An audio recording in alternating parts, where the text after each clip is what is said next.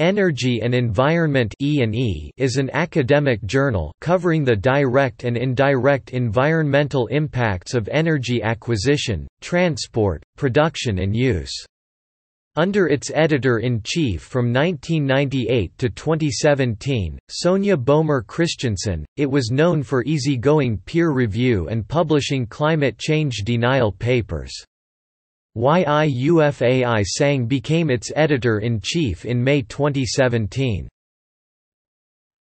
Topic abstracting and indexing The journal is abstracted and indexed in the Social Sciences Citation Index, Scopus, EBSCO databases, Current Contents, Social and Behavioral Sciences, and Compendex. According to the Journal Citation Reports, the journal has a 2012 impact factor of 0.319, ranking it 90th out of 93 journals in the category Environmental Studies.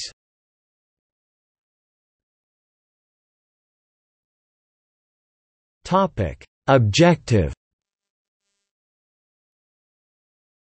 The journal's mission statement states that the publication's objective is to inform across professional and disciplinary boundaries and debate the social, economic, political and technological implications of environmental controls, as well as interrogate the science claims made to justify environmental regulations of the energy industries, including transport.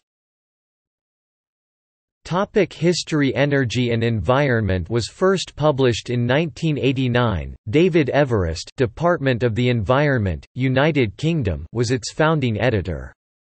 Following his death in 1998, Boehmer Christiansen became the journal's editor. She and several members of the journal's editorial advisory board had previously been associated with the Energy and Environment Groups at the Science and Technology Policy Unit University of Sussex, with John Surrey. Its publisher, Multi-Science ceased trading on 31 December 2015 and the journal was transferred to Sage. In May 2017, Yiu Fai Tsang became the journal's editor.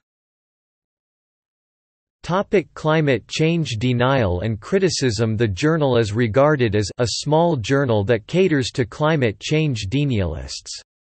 It has played an important role in attacking climate science and scientists, for example Michael E. Mann, several scientists and social scientists such Gavin Schmidt, Roger A. Pielke Jr. Stephan Lewandowsky and Michael Ashley, have criticized that E&E has low standards of peer review and little impact. In addition, Ralph Keeling criticized a paper in the journal which claimed that CO2 levels were above 400 ppm in 1825, 1857 and 1942, writing in a letter to the editor, Is it really the intent of E&E to provide a forum for laundering pseudoscience? A 2005 article in Environmental Science and Technology stated that the journal is obscure and that scientific claims made in energy energy and environment have little credibility among scientists. Boehmer Christiansen acknowledged that the journal's impact rating has remained too low for many ambitious young researchers to use it, but blamed this on the negative attitudes of the Intergovernmental Panel on Climate Change IPCC, Climatic Research Unit people. According to Hans von Storch, the journal tries to give people who do not have a platform a platform, which is then attractive for skeptic papers.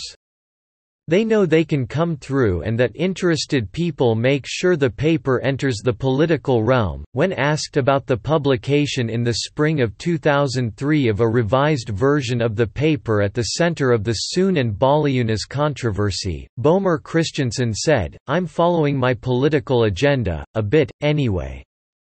But isn't that the right of the editor? Part of the journal's official mission statement reads, E&E has consistently striven to publish many voices and to challenge conventional wisdoms. Perhaps more so than other European energy journal, the editor has made E&E a forum for more skeptical analyses of climate change and the advocated solutions.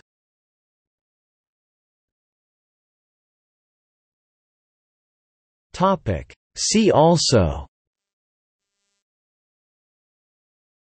Environmental engineering science List of books about renewable energy